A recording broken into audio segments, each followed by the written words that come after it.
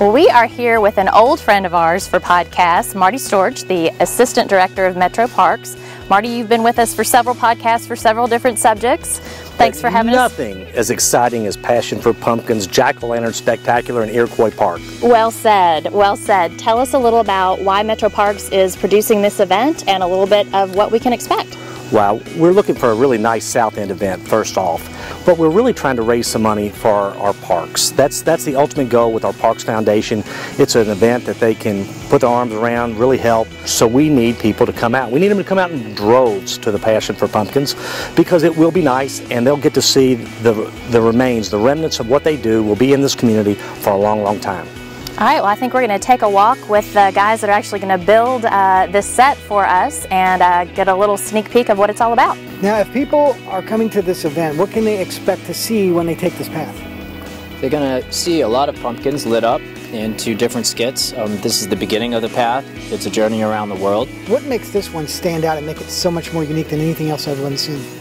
Well, we're not a scary event, first of all. We're a family-oriented event, and we illuminate pumpkins on an artistic level. We're not just doing traditional jack-o'-lanterns. We do ornate illuminated art show, is what this will be.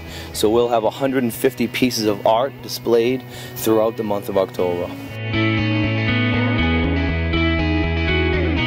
We know while we've been walking this trail, Travis has been hard at work carving a UK or a U of L pumpkin. I, I think it's going to be a cardinal, but what would you pick? If it was UK or U of L, who you got to go with? I, my heart belongs to Louisville. There it is. There it is, folks. His heart belongs to Louisville. Well, you know, speaking of your heart being in Louisville, uh, tell us a little bit about this area. Well, this is going to be our tribute to Kentucky. So we will have the uh, the basketball teams, some of the players here.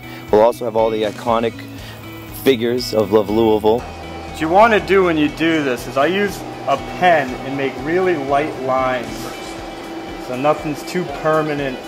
But then what I'm going to do is go back with a permanent oil marker so it won't erase or smudge when I'm carving it and the, and the, and the juice from the pumpkin starts to run.